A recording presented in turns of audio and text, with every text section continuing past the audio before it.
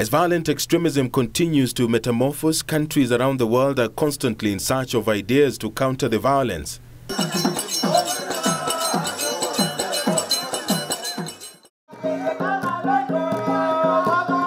African countries are now using culture as a means of bolstering ongoing war against violent extremism within the continent.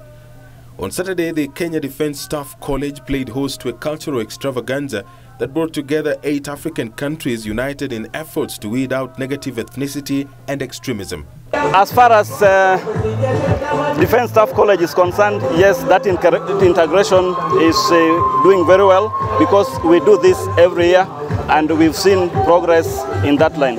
The annual event seeks to recognize champions of African unity and socio-economic development. Our culture, our strength, our knowledge helps us to fight Al-Shabaab, both from outside in Somalia and within the countries that are in the East African region. We should be security conscious.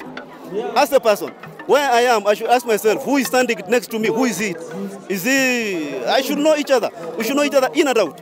On display were African traditional artifacts, food, as well as divergent opinion on how the continent can rise above partisanship and leverage on its diversity.